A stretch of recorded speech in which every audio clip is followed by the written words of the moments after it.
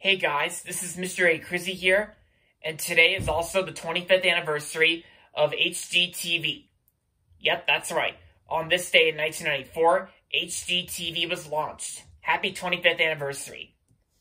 Yep, and, and just like Game Show Network, it's been exactly 25 years since HGTV was launched. And so if you're if you're wondering what HGTV stands for, the, the bottom of the, this logo picture says it right there. HGTV stands for Home and Garden Television. Yep. But yeah, so so so, so there's not much there's not much to say for this video, but but yeah, just I, I just learned about about this today that that both Game Show Network and HGTV were both launched on this day in 1994. 25 years for both TV channels. Yeah. But other than that, happy 25th anniversary to H- HGTV.